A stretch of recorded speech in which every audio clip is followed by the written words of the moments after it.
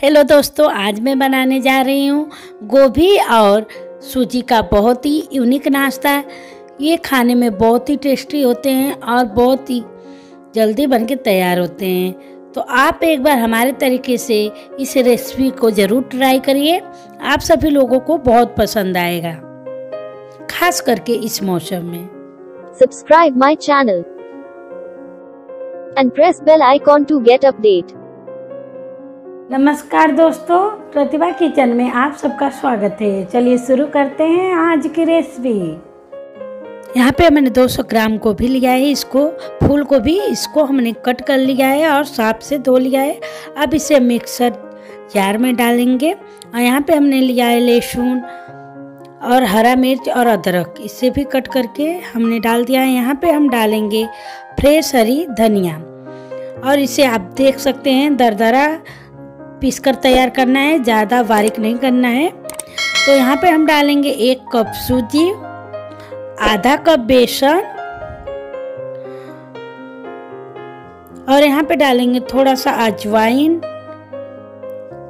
थोड़ा सा काश्मीरी लाल मिर्च, हल्दी पाउडर, यहाँ पे गरम मसाला थोड़ा सा हींग और स्वाद अनुसार नमक और यहाँ पे कटा हुआ फ्रेश धनिया डाल के अच्छे से इन्हें मिक्स कर लेंगे। यहाँ पे हमारा बेटर बन के तैयार है और हमने तेल भी रख दिया गर्म होने के लिए।